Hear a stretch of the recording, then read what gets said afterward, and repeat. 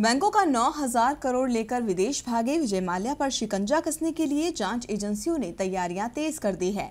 CBI और प्रवर्तन निदेशालय के अधिकारियों की एक टीम लंदन पहुँची है, जो कि विजय माल्या के प्रत्यर्पण के बारे में स्थानीय अधिकारियों से बातचीत करेगी।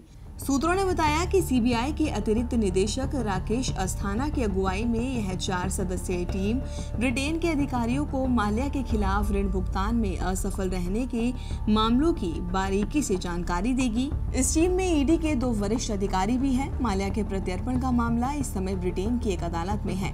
भारत से टीम लंदन भेजने का उद्देश्य यही है कि माल्या के प्रत्यर्पण के लिए वहाँ की अदालत में मज़बूत मामला बनाया जा सके। आपको बता दें कि माल्या को भारत के प्रत्यर्पण आग्रह पर पिछले महीने ब्रिटेन के अधिकारियों ने गिरफ़्तार किया था। दरअसल यह गिरफ्तारी। आईडीबीआई बैंक में 900 करोड़ रुपए के कर्ज का भुगतान नहीं करने से जुड़े मामले में हुई है। इस मामले की जाँच सीबीआई कर रही है।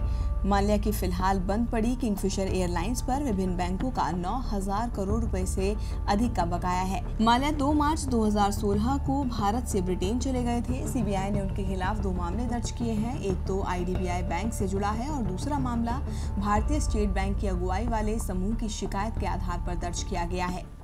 तो विजय माल्या पर शिकंजा कसने के लिए अब जाँच एजेंसियाँ लंदन पहुँची है। माल्या इस वक्त लंदन में ही है और माना जा रहा है कि जाँच अधिकारियों के वहाँ पहुँचने से केस को मजबूती मिलेगी। अधिकारी अपना पक्ष सही तरीके से रख पाएँगे। देखते रहिए डीपी लाइव